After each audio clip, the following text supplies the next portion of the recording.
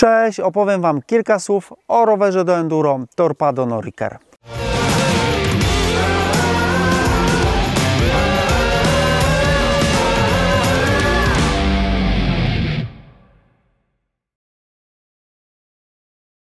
Torpado to włoska marka rowerów, które produkowane są już od 125 lat.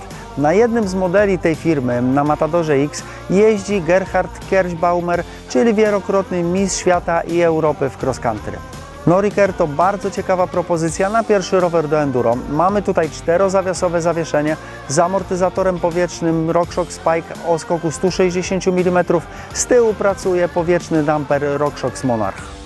Amortyzacja posiada bardzo szeroki zakres regulacji. Oprócz oczywiście ustawienia ciśnienia, dzięki któremu możemy dostosować charakterystykę pracy do naszych potrzeb, z przodu możemy ustawić tłumienie powrotu, na górze mamy pokrętło do ustawienia wolnej kompresji oraz dźwignię do zablokowania amortyzatora, natomiast z tyłu w damperze mamy możliwość ustawienia tłumienia powrotu i dźwignię do jego zablokowania.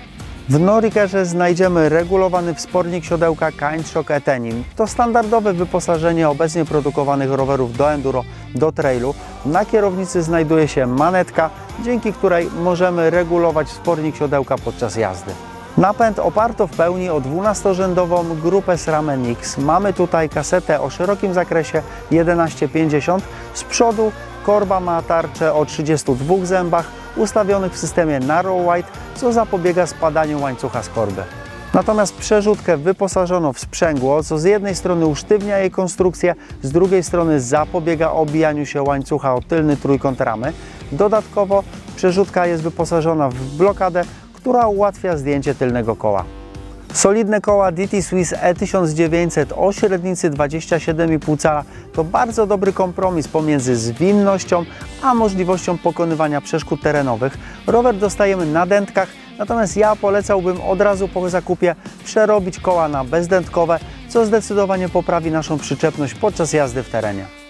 Jeżeli chodzi o przyczepność, to zapewniają je opony Schwalbe Nobenik o szerokości 2,35 cala z bardzo agresywnym bieżnikiem, no i do tego dobrą ochroną przed przebiciem.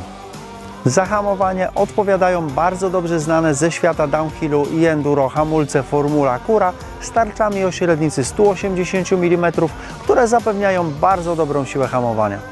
Znakiem charakterystycznym nowoczesnych rowerów górskich jest szeroka kierownica i krótki mostek. Dokładnie tak jest w tym przypadku. Mamy tutaj kierownicę o szerokości 78 cm i mostek o długości 5 cm, co bardzo pomaga w kierowaniu rowerem podczas jazdy po szybkich zakrętach. Podsumowując, Torpado Noriker to bardzo dobrze wyposażony rower do enduro, jednocześnie bardzo dobrze wyceniony. Sprawdzi się zarówno podczas ostrej jazdy po single trackach, jak i podczas eksploracji górskich szlaków.